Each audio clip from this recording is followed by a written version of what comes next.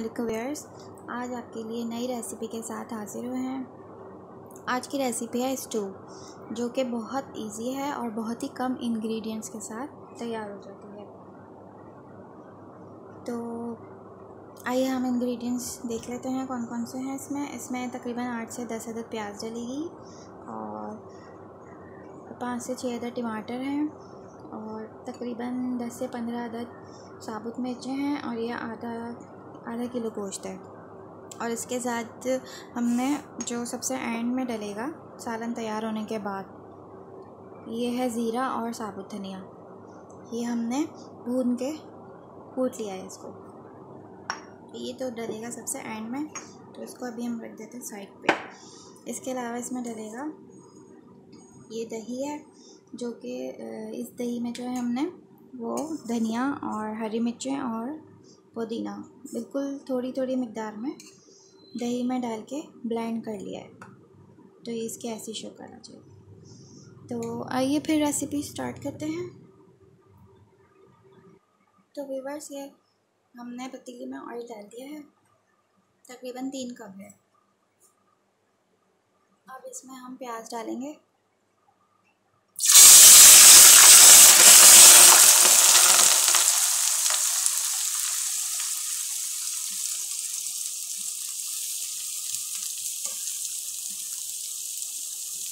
इसको हमने बिल्कुल ब्राउन नहीं करना, बस ये थोड़ी सी ऐसी अभी जो ये बिल्कुल सॉफ्ट हुई है ना, ये थोड़ी सी नरम हो जाएगी। होगी वाइट ही, लेकिन नरम हो जाएगी। तो इसको फिर हमने गोश्त डाल देना है।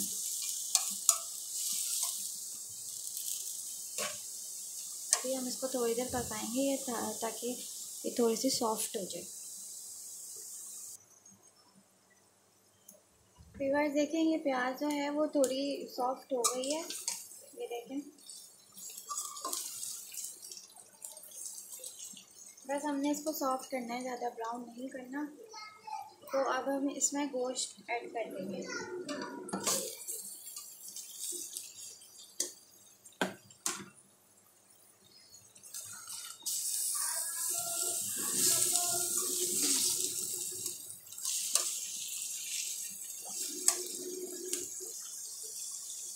ये देखें, प्याज है वो और ज़्यादा सॉफ्ट हो गई। बस इसको गोश्त डालने के बाद आपने बस दो तीन मिनट तक इसको पकाना है। इसके बाद इसमें हम दो स्पून लहसुन अदरक ऐड करेंगे। लहसुन अदरक गए आपके तकरीबन दो स्पून फिर इसको हम थोड़ा सा पकाएँगे लहसुन अदरक डाल के।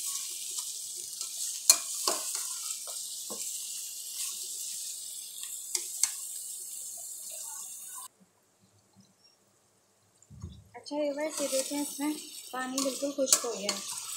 जो गोश्त का पानी था और जो प्याज का पानी था वो खुश्क हो गया और इसमें ऑयल आ गया। तो अब हम इसमें टमाटर ऐड करेंगे।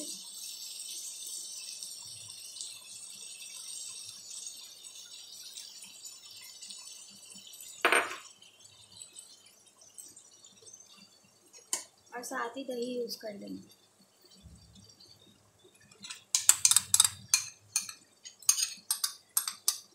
धनिया, पुदीना और हरी मिर्च इस दही में हमने थोड़ा थोड़ा सा ऐड करके उसको ब्लेंड कर लिया था। वो वाला दही हमने इसमें यूज़ कर लिया। इसके बाद इसमें हम डाल देंगे साबुत मिर्च।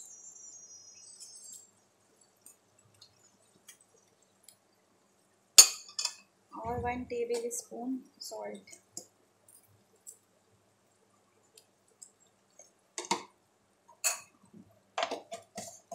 अब इसको हम पकने के लिए कवर करके तकरीबन गोश्त के गल जाने तक इसको हम कवर करके रख देंगे। स्लो मीडियम स्लो फ्लेम पे।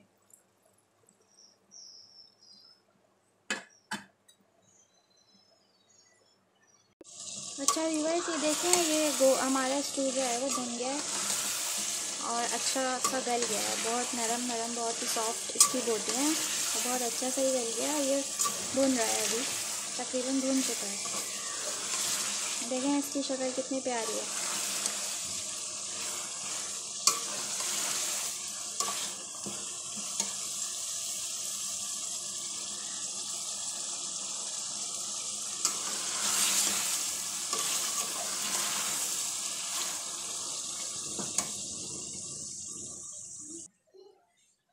ये देखिए व्यूवर्स हमारा स्टू जो है वो तैयार हो गया है। अब हम इसको डिश आउट कर लेंगे।